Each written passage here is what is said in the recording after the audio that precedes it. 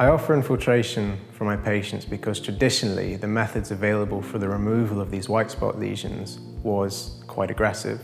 With resin infiltration, we're able to remove these lesions in a biologically respectful and minimally invasive way.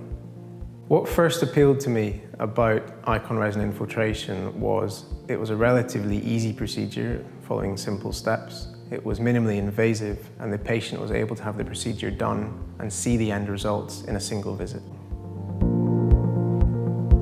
The type of patients who I treat with ICON are generally patients who have been affected by these lesions their whole life. They've previously been told that either nothing can be done to remove them or that the treatment which has been recommended to them was a little bit too aggressive for them. In general, the patients who we treat with ICON have given up hope and ICON for them is the light at the end of the tunnel. The procedure itself is relatively user-friendly. There are simple instructions which are easy to follow and the end result can be achieved in a single surgery visit.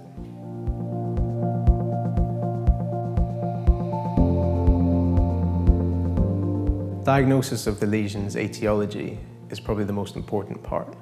The lesions which are among the easiest to treat are superficial lesions such as fluorosis or early caries, for example what you'd find around gingival margins or around orthodontic brackets.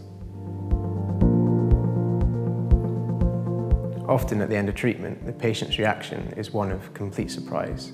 They can't believe that in such a short amount of time and with such little treatment, they can get such a fantastic result.